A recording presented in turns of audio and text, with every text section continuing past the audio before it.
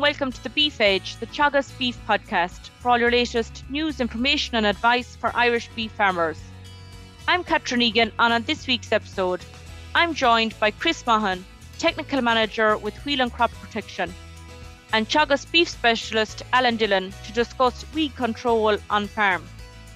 Chris, it has been a difficult spring on farm relating to grass, particularly getting an opportunity to control weeds.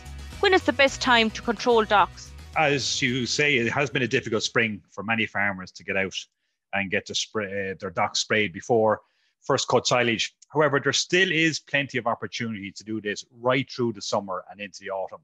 Most important thing when it comes to dock control is the timing of the dock and spraying them when they're eight to 10 inches higher across and using plenty of water. That's the most important. After spraying the docks, how long do you have to wait until cattle can graze again or if it was going to be cut for silage? Yeah, generally you would leave seven days after you spray before you let stock back in. However, if you're going cutting silage, we do recommend you to leave it 21 days, about three weeks. Um, this is to allow time for the chemical to get down and get into the root to give it a good kill before you cut your silage. And what type of products would be best suited for controlling docks, Chris? Look, generally, where docks are the main weed, we'd be recommended Doxstar Pro. That'd be the product of choice, especially if you're going cutting silage again afterwards. That's great. And nettles and thistles, I suppose, are also a very common weed on farm. What would be the best control method for these? Look, a spraying perennial weeds like nettles and thistles is really the is really the only way to to eliminate them from your sward. So generally, in grazing products, we'd be recommending Forefront T. It'd be an ideal product of choice for controlling nettles, thistles, docks, and even buttercups if they were present. And would they need to be sprayed again the following year? Where infestations are high, it's difficult to eliminate them um, in one in, in one spray. So you may need to follow up, especially with nettles, with some spot spraying with Grazon Pro, um, maybe the following year. Would it be advised to cut them prior to spraying, or at what stage should they be sprayed at? Yeah, look, at generally we'd be always recommending to spray them, you know, when they're green and leafy and small. So if thistles and nettles are gone, say above the height of your knee, um, to get the best control, we'd recommend to top them and then spray the regrowth about three weeks later you touched on buttercups there. Would the same apply for controlling buttercups, or what would be the case in relation to controlling them? Yeah, look at um, there is a lot of buttercups around this year. Um, you know, buttercups tend to germinate after over a cold and wet winter, and especially then if there's any delay in grass growth in the springtime, um, buttercups tend to get established. You know, so we've seen a lot of them around this year. Look, ideally, you'd like to spray buttercups before they flower. So Pastor Trio will give good level of control when they are in flower, but you would get a much better kill out if they're sprayed before flowering. So look, farmers have two options. The first option is to spray now when they're in flower, you get good level of kill. But the second option would be the better one, which would be to top them and then spray the regrowth about three weeks later. And would the same apply in relation to dandelions? yeah, not so bad with dandelions when they go into flower because they tend not to be to grow very tall. So look, they can be really sprayed at any time of the year. And luckily enough, nearly all the products that we do will control dandelions, whether that's Doxstar Pro, Pastor Trio, or Forefront T, Forefront T, they'll all control dandelions too.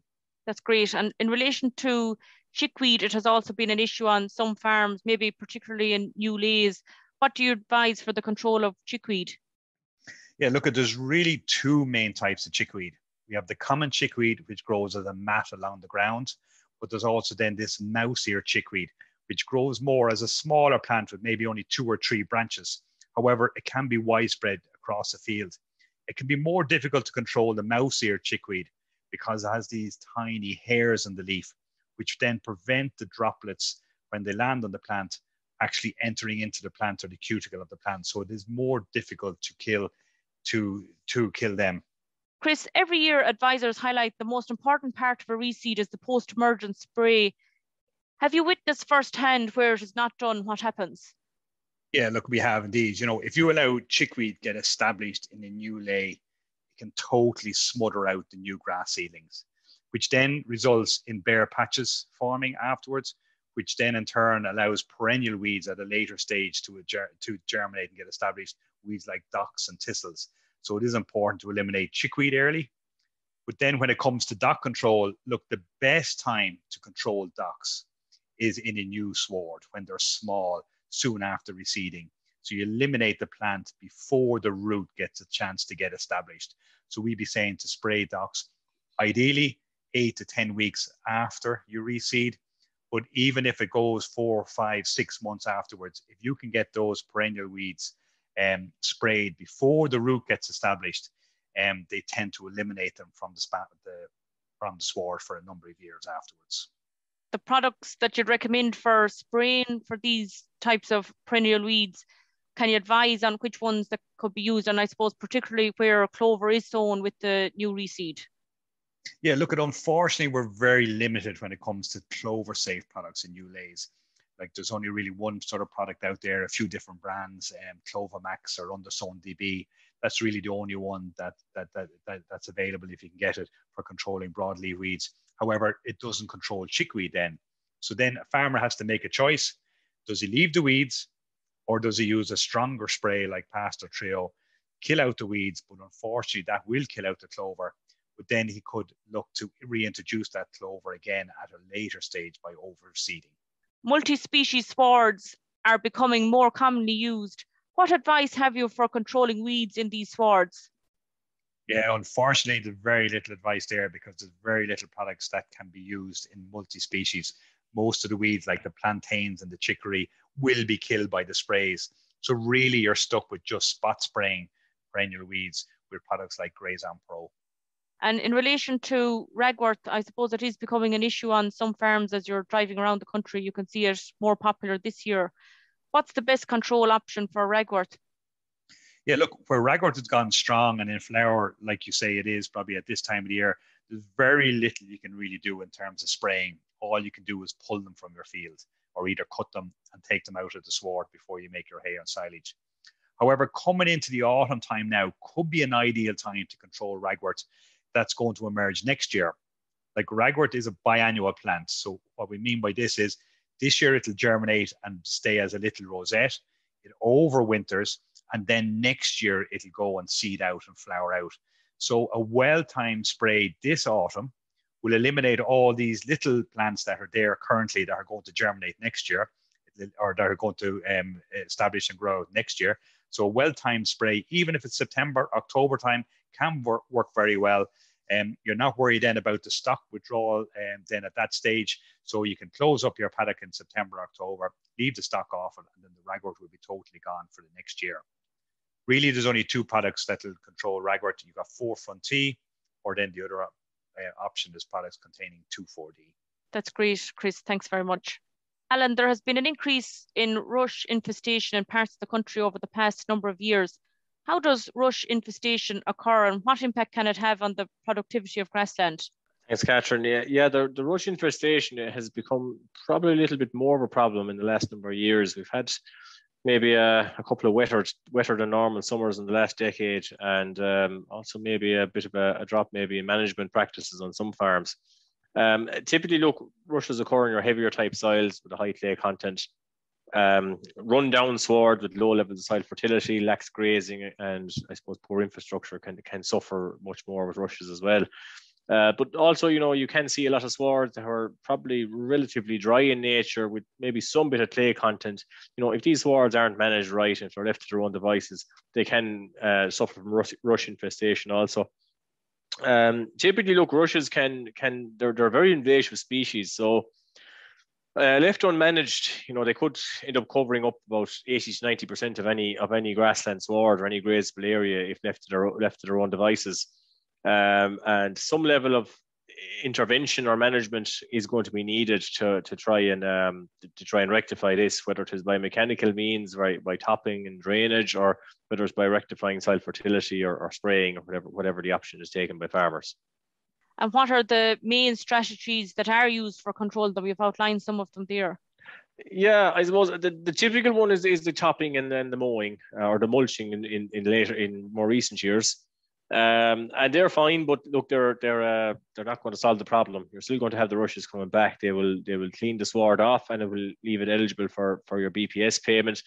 Um, but uh, it's not a long term management strategy. Really, if you want to control rushes, long term, you have to go into the more expensive options. Um, I suppose rectifying soil fertility, you know, improving your soil P and K levels to index three and four, uh, or improving your soil pH to uh, in, in, um, higher than a level of six. Um, you know, you need to regularly graze these fords as well. Lax grazing, you know, with no paddock system in place for cattle are kind of set stocked. That's prime for allowing these rushes to, to develop, um, especially if any level of poaching is occurring. You're, you're opening up that sward, creating these, these pock marks and areas where water can hold. And, and this is ideal for letting the rush plant proliferate as well. Um, so it's, it's, it's, I suppose those are the main factors you consider first off. And also then there is the drainage option, which is very expensive. You know, a proper drainage job on land can cost you in the region of maybe two to three thousand euros per acre. Um, it's a long-term investment. Some people see it as being worthwhile, um, but really and truly, every farmer needs to sit down and see what's the best solution for him.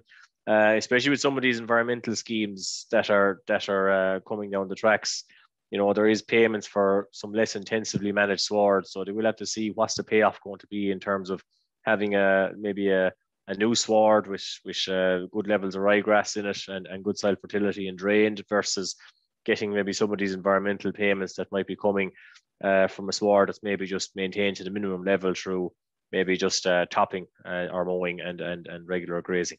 Alan, if rushes are not controlled and they dominate the sward as you outlined, what are the requirements in order to have animals gain access to them, particularly if they're being claimed on the basic payment scheme with regards eligibility?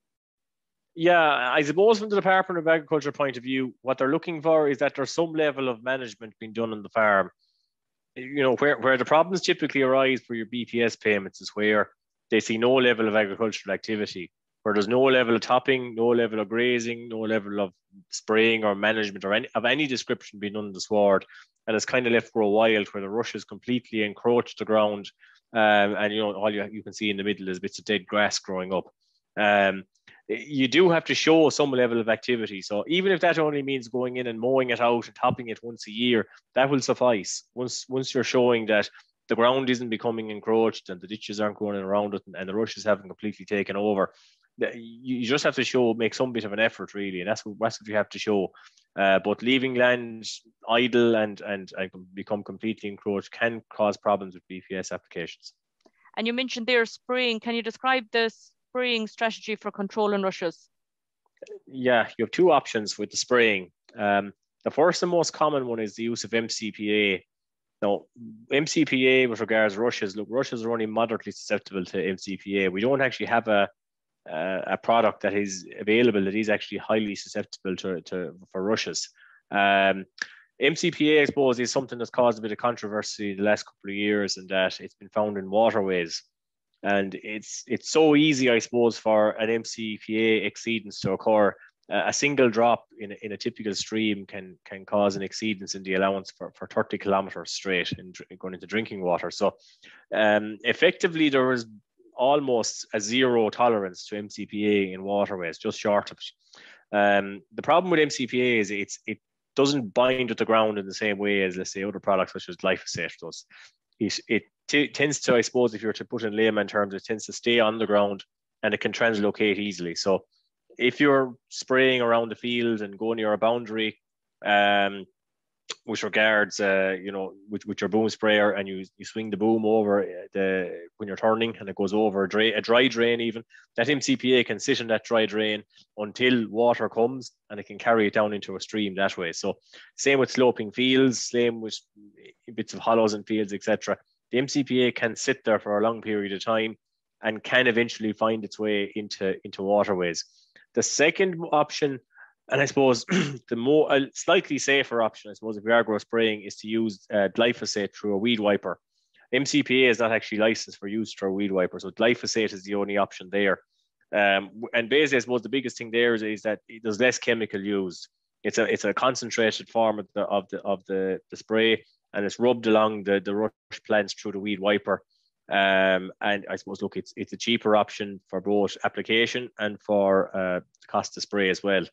Uh, so it's it's probably something that's a bit safer to use uh, versus the MCPA option. But look, MCPA is a very important spray in this country. At the same time, it's about farmers having a bit of respect for the product and, and knowing how to manage it and ensuring that they're spraying in ideal conditions where there's dry weather forecasts, etc., to avoid this MCPA leaking into waterways and, and causing more upset. Thanks, Alan.